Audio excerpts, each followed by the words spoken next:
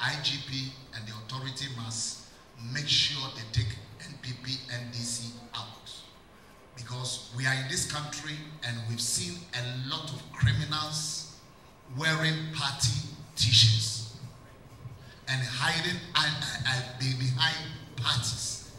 So they will do whatever they have to do wearing party t-shirts so that it will come to a point that when the police want to any arrest or want to do anything, you attack NDC, you are attacking NPP.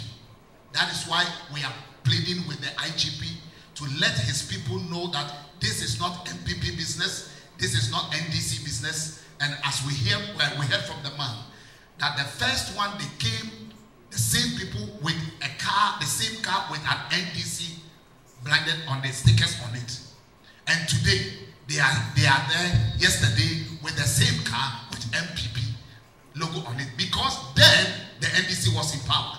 Now NPP is in power. So it's like there are criminal people who are doing bad things, hiding behind the political parties.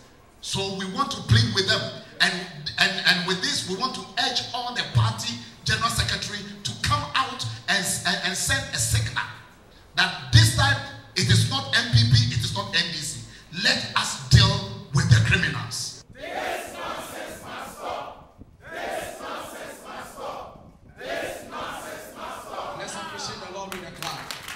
God bless you all.